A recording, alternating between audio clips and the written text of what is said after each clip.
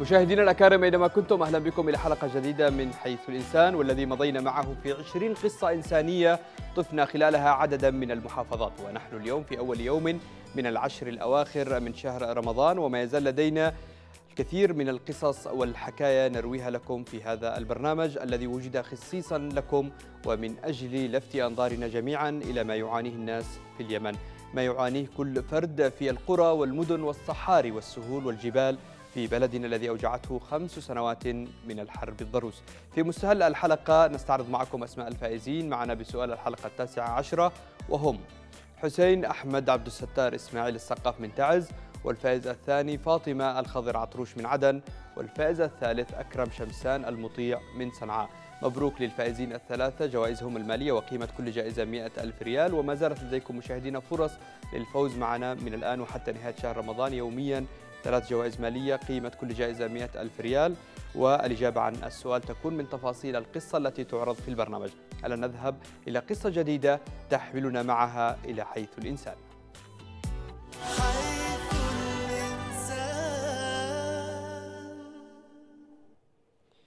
مشاهدينا قصة الليلة ليست كتلك القصص التي سبق لنا عرضها في هذا البرنامج. إنها قصة سعينا أن يكون تدخلنا من زاوية الإنسان لنساهم في رسم ملامح جميلة لهذه القصة. لكن هناك من أراد أن يرسم صورة أخرى وخاتمة أخرى لهذه القصة. نتابع.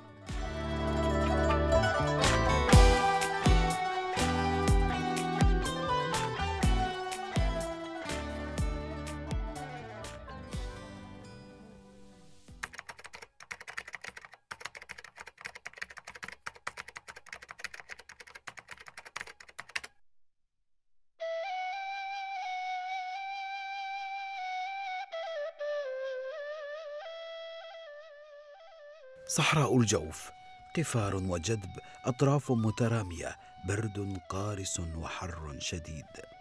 خيمة رمت بها الحرب في وسط الصحراء تدب بحياة هامشية ومصير متعثر. عيون مثقلة بأسئلة تائهة حول الغد وما يخبئ لها القدر. أنا يوم نزل الحوادث والرجال جت قتله في النقطة وجاء الرجال جاء فيه فعل. قت- قتله بينهم والحوادث وجات جاء الرجال فيه فعل من الحوادث وقعد كذا راحوا به جو ما خلوا به ديره وتم كذا ما عاد قام. ما عاد لا يحب كذا ما أقسى أن يتوقف العطاء في منتصف الطريق وينفذ الزاد في رحلة طويلة شاقة مبهمة النهايات. كان من أول يعيشهم من حطب. ذا الحين ما عاد إلا أهل أبوه ي- يرد عليه كذا يعيشه. ما هو ما عاد يعيش عمره. جاء له معاش من منهم مولا قامه يجي عقد ما أدري كم يبطي ما قد جاء.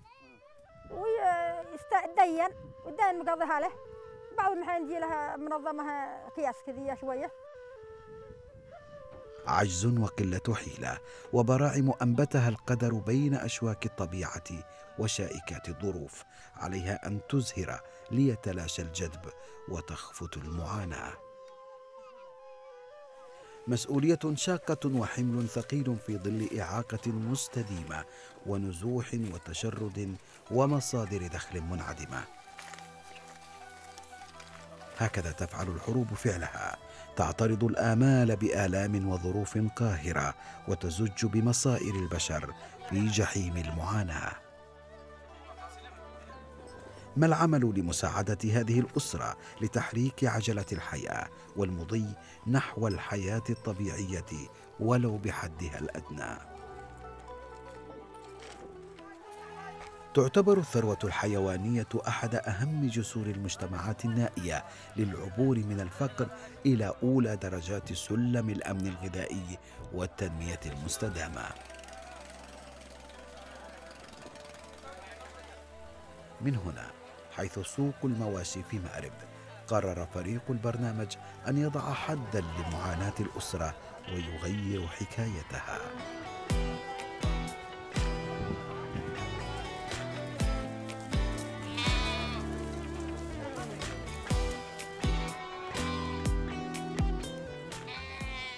عشرون رأسا من الغنم بأعلافها. كفيلة بصناعة الفرق في حياة أسرة متعثرة وسط الصحراء.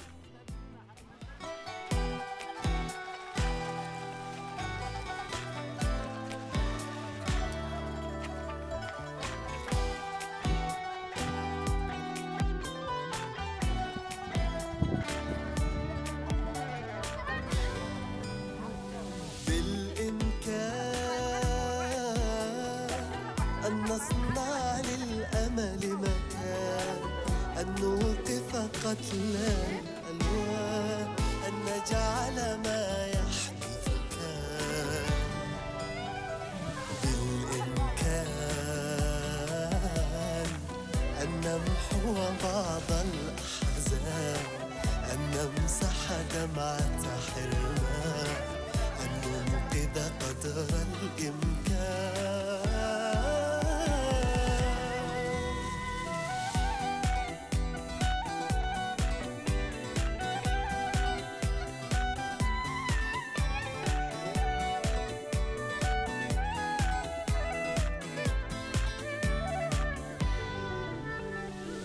قطرة خير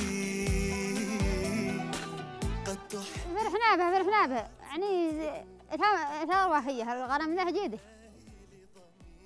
فرحنا به لأنها ثروة تدي بهم والعرب تعيشوا منها واللي ما معها يعني جهاد يعني يشتغل له في شيء قلت هو نعيشه الغنم. يشتغل له فيها تدي له فهم ولا عاوز منها يأكل منها. بدأت الحياة تدب حول الخيمة. خضرة الأعلاف وأصوات المواشي تعيد بعث الأمل وتقاوم الجدب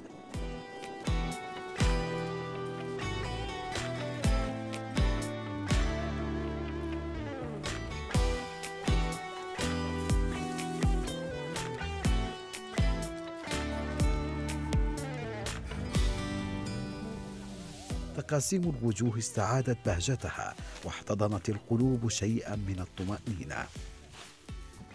عثرت الأسئلة على بعض إجاباتها الضالة وستعثر في الغد على كل إجاباتها لتنمو البراعم ويزهر المستقبل القريب. رعي ولبن وأكل وتكاثر وهكذا يفترض أن تواصل الحياة دورتها بانتظام.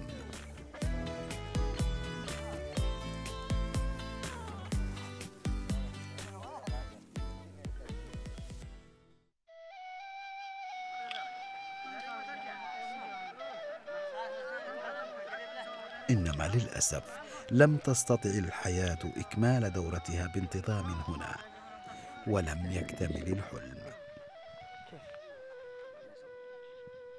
لغم أرضي زرعته ميليشيا الحوثي على الطريق استهدف الأب المعاق وخمسة أطفال.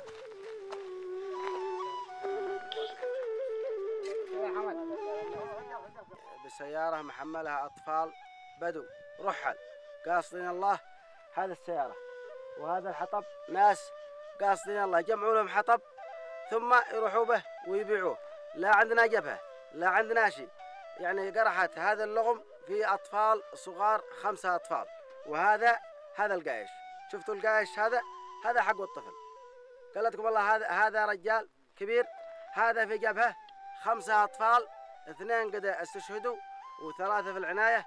طبعا اللي يسوق السيارة رجل معاك. والله ما يتحرك فيه إلا يده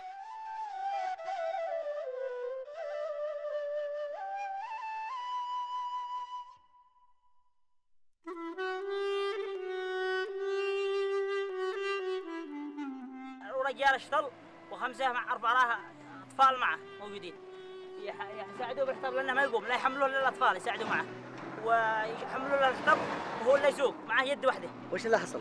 وحصل لهم لغم انفجار على طريق المواطنين. لا هو على طريق عسكر ولا هو على طريق اليهود ما يفعلوا هكذا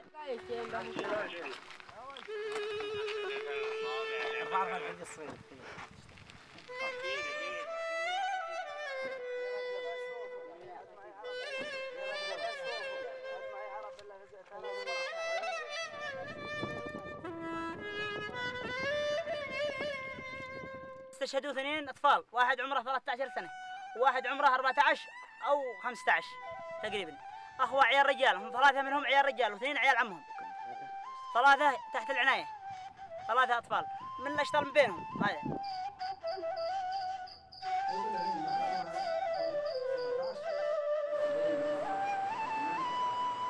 وهذه تعتبر من الجرائم الوحشية التي ترتكبها الميليشيات بحق أبناء محافظة الجوف.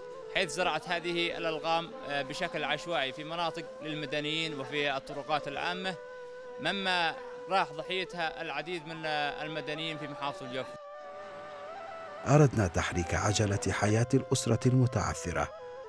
إنما هذا ما أرادته ميليشيا الحوثي وتريده لليمنيين.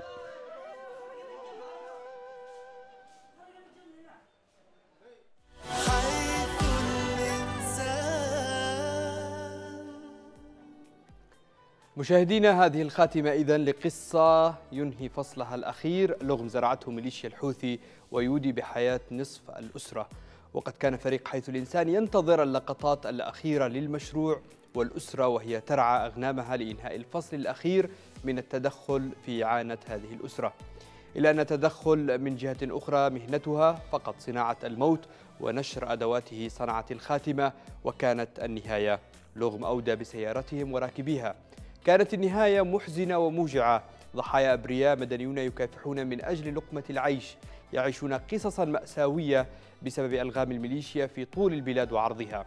مشروع حيث الإنسان لم يكن إلا نقطة للسلام والخير الممتدة لمن استطاع الوصول إليهم وتقديم يد العون لهم.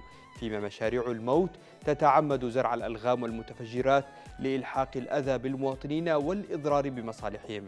نسأل الله الشفاء والعافية لمن تبقى من الأسرة. وجنبنا الله وإياكم شرور الألغام وكوارث الحرب وصانعيها فنحن بحاجة إلى السلام اليوم أكثر من أي وقت مضى. مشاهدينا تابعنا هذه القصة المؤلمة وبالتأكيد في تفاصيلها هناك الكثير من الأحداث. بالتأكيد أنكم ركزتم عليها حتى تتمكنوا معنا اليوم من الإجابة على سؤال الحلقة. وإليكم السؤال. السؤال ما الذي أصاب الأسرة؟ الاختيارات الثلاثة هي لغم الاختيار الثاني قذيفة هاون الاختيار الثالث حريق إذا مشاهدينا هذا هو السؤال ولديكم أيضا ثلاثة الاختيارات وما عليكم فقط إرسال رقم الإجابة الصحيحة إما واحد أو اثنين أو ثلاثة على رقم الواتساب الخاص في البرنامج والوقت المتاح لديكم للمشاركة معنا في البرنامج يستمر حتى الخامسة من عصر الغد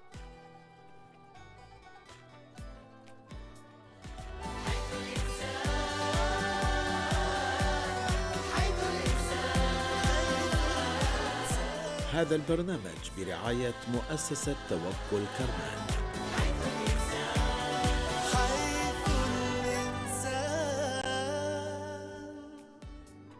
إذا مشاهدينا وصلنا معكم إلى فقرة إعلان الأرقام الفائزة بجائزة الحلقة العشرين من برنامج حيث الإنسان. وكان سؤال حلقة الأمس يقول كم عدد سكان قرية المغربة المستفيدين من الخزان؟ وكانت الاختيارات الثلاثة هي 500 نسمة الاختيار الأول و150 نسمة الاختيار الثاني و400 نسمة الاختيار الثالث. وكانت الإجابة الصحيحة هي الاختيار الثالث. فبحسب ما ورد في قصة حلقة الأمس عن قرية المغربة المستفيدة من خزان المياه فإن عدد سكانها 400 نسمة. الآن مشاهدينا الكرام سنقوم باختيار الثلاثة الفائزين عن سؤال الحلقة. و للثلاثة الفائزين مبروك مقدما 100 ألف ريال لكل فائز من الفائزين الثلاثة. بسم الله سنختار الفائز الأول وقيمة الجائزة 100 ألف ريال يمني. بسم الله.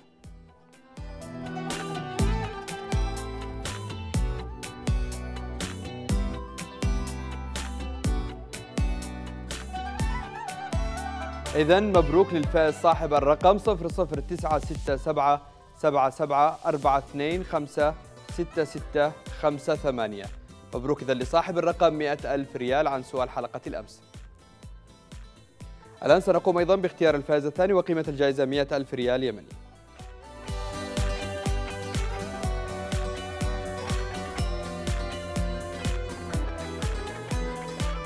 مبروك للفائز صاحب الرقم 00967 738 15 3197 مبروك إذا لصاحب الرقم الظاهر على الشاشة أيضا 100 ألف ريال يمني عن سؤال حلقة الأمس. الآن سنختار الفائز الثالث وأيضا جائزة 100 ألف ريال يمني.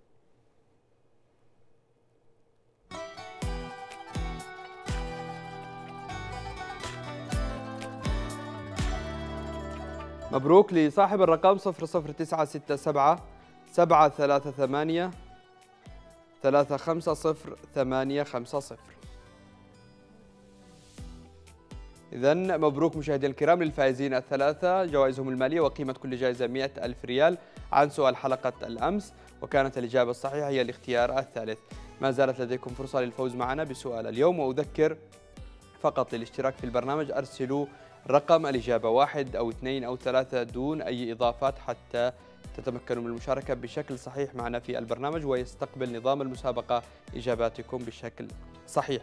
إذا مشاهدينا الكرام أذكركم الآن بشكل أخير بالأرقام الثلاثة للفائزين معنا عن سؤال حلقة الأمس والأرقام الثلاثة ظاهرة معكم على الشاشة. مبروك لهم جوائزهم المالية وقيمة كل جائزة 100 ألف ريال يمني.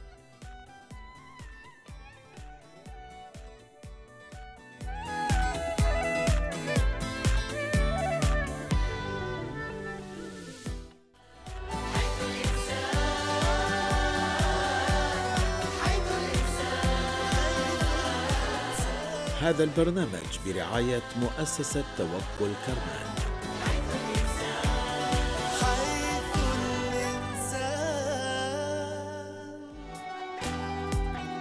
إذا مشاهدينا الكرام عقب انتهاء هذه الحلقة سنتواصل مع الأرقام الثلاثة الفائزة لنتعرف على تفاصيلهم وأيضا أذكر بأنه ما زالت لديكم فرصة للفوز معنا والمشاركة يوميا في برنامج حيث الإنسان.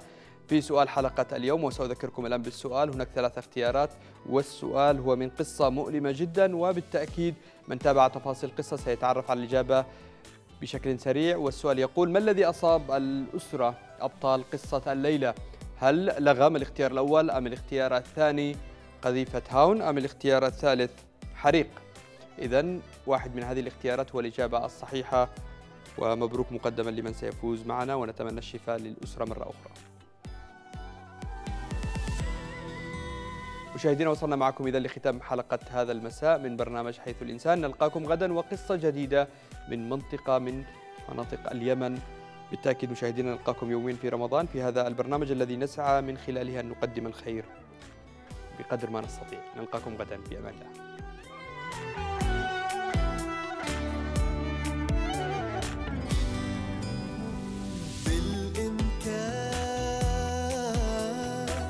أن نصنع للأمل مكان أن نوقف قتل الألوان أن نجعل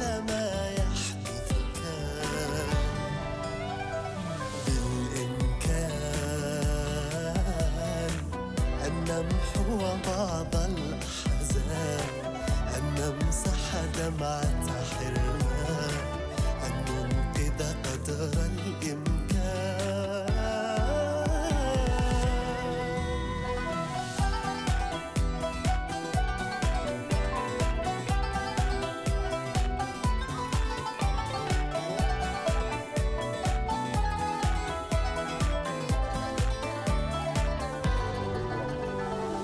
قطرة خير قد تحدث في العتمة نور قد تجعل لليل ضمير قد تبقي فينا